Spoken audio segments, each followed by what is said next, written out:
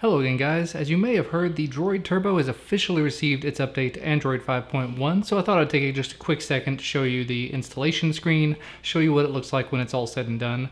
My wife has been using this, as I told you before, and so it's got this bright pink Incipio case on it. But here you go, it does say install system update, there's the version number, it's 231138 in US says the software update includes updates to the latest version of Android 5.1 Lollipop, enhanced app performance, an all new visual design, improved lost or stolen device protection, and it's going to take about 20 minutes to do. So I'm going to start this and come back when it's done. So it is powering down the device now. And there you see the installing system update, so I'll be right back. Alright, we are back. I missed some of the boot animation, but that's not really a big deal. Although I will say I don't really remember the boot animation being blue, so maybe that's changed. Maybe that has to do with this being the Sapphire Blue Droid Turbo. I don't know. All right, looks like we are finishing up the boot process now. And there you go.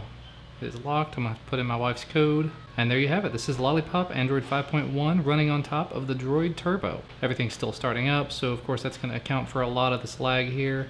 Up here at the top it says get notifications faster. You can see them before you unlock update Google Play services, which we'll have to go ahead and do. And while we wait for that to happen, let's go ahead and just double check the version number, but everything does look like 5.1. You see here we do have these drop down toggles for Wi-Fi as well as for Bluetooth.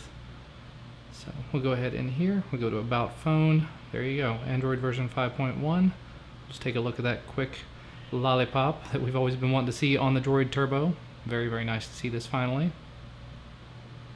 And there's a little game, just in case you are curious about it. I'm terrible at it, so I'm to get out of that. I think everybody's terrible at that game. But now that everything started up, everything does seem to be going decently fast. Definitely nothing to complain about. If there's anything you'd like to see on this, anything particular that stands out for you, definitely let me know down in the comment section below. First thing that I noticed is it didn't pop up complaining about the SIM card, so that's definitely a plus. When my wife was using this before, anytime you would start the phone up, because we're not on Verizon currently, it would pop up and complain that it wasn't using a Verizon SIM. Oh, I apparently spoke just a little bit too soon. SIM card is not from Verizon, so that hasn't been fixed yet. But it looks like the update did complete successfully. This is probably one of the things that was making it be a little bit laggy there. It says update complete. You have updated to 23.11.38 ENUS.